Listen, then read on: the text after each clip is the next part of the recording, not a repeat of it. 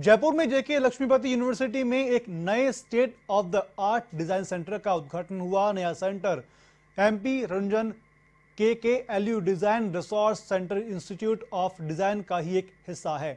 इस नए designer centre का उद्घाटन उद्योग मंत्री प्रसादलाल मीणा ने किया है। आपको बता दें कि प्रोफेसर एमपी रंजन डिज़ाइन के क्षेत्र में भारत की सबसे प्रसिद्ध हस्तियों में से एक थे। बेहतरीन प्रतिभा के धनी प्रोफेसर के डिज़ाइन और उससे जुड़े करीब 1600 पुस्तकों के कलेक्शन को जेकेएलयू को दान किया गया है, ताकि ज़्यादा से ज़्यादा लोगों को इसका लाभ मिल सके।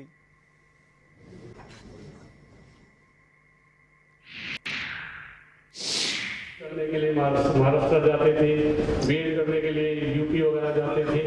ये सब मुझे याद है अशोक जी गहलोत नाइनटी में आए।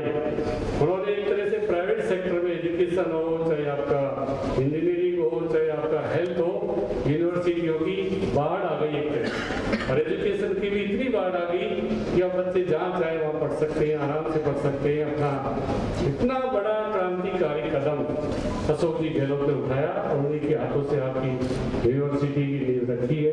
आप सबको मेरी ओर से बहुत बहुत बधाई कि आप यूनिवर्सिटी का जो देश और दुनिया की हर छोटी बड़ी खबर के लिए सब्सक्राइब करें एवन टीवी न्यूज़ साथ ही बेल आइकन को प्रेस करें ताकि आप पा सकें ताज़ा खबरों की नोटिफिकेशन